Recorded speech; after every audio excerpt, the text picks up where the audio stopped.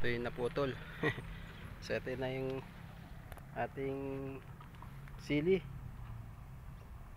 Mga chili. Gagawa nga tayo ng chili garlic. So pahinugin pa natin yung iba. Ayan, mag harvest tayo later minsan may nabubulok na oh. sila. Marami yung bunga. So yung ating mga saluyot. Okay ito ano to yung patola yan. Umakit na sila dyan. Ito. Yan naman yung bataw. Malaki ang bataw pag talagang yumabog yan. Kaya pinuputol-putulan ko lang. Yan yung mga kamote yan talbos. Ito naman yung palaya. Ito. Ito sila. Mga matatanda na yan mga palaya na to. I mean mga February pa na itanim. So nitong tagulan ganun lang sila. Dahil ulanan siyempre. Yan tuloy-tuloy yung kanilang pagsasanga. So lumalaban pa.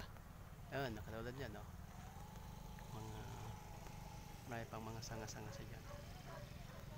Tapos meron pa doon tumubo-tubo ng mga palaya dyan dito. Ah, mga nandun sa bunga-bunga. Ayun yung binalot-balotan ko ng papel. Yung mga bunga kasi tinutusok na insekto. Pag di mo balutin yan wala wala ma-harvest yan. Ito. Oh, ito naman yung ampalaya yan, na pang pakbet sa mga sa Ilocan sa Ilocos. Ito. Yung mga pang halos sa pinakbet talaga yan masarap maliliit. Ano ito. Tama tama to harvestin natin bukas. Bigay natin kay mother deer pagpunta natin ulit sa ano pagbisita natin sa ah, doon sa ano ina ate Lori. Ano oh. Di ba mother? Kitito na imas ang nga parya hasta ni oh. Stoy. Oh yan tapari nga kasta ni babatit pag laok ti pakbet. Ano meron pa malaki dun. Oh, parang meron pa dun oh, oh malaki pa dyan yun. So dito tayo. Yan oh, may mga bunga pa dyan ito. Kunin natin bukas. Tamang tama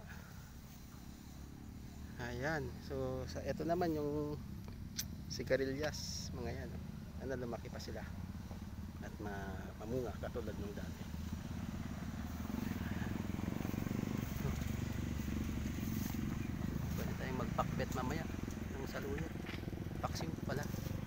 paksiw ng saluyot ay marami yan okay.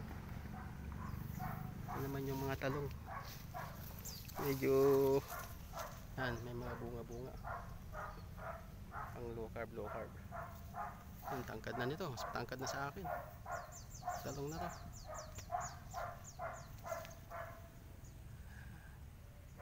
Yun. Okay. Okay na tayo. Ito yung malapit sa atin na bayog, kawayan mga pinagpuputol ng taga Meralco last time kasi malapit sa high tension wire. Kailangan ano yan pinuputulan yan para hindi case na may mahalakas na hangin may bagyo hindi yung lalaylay yan kasi danger yan eh. Pwede kang ma-electrocute pinagpuputol yan. Kaya dito dito bumagsak. Yan, hindi ko pa nalilinis. Sila.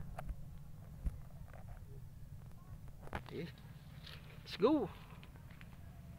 Tayo muna. Yung sukal dito. Okay bye. Ito palabas dyan eh. Ating lusutan. Yan yan. Kasada na. Na yung mga bahay-bahay dito sa amin. Okay bye bye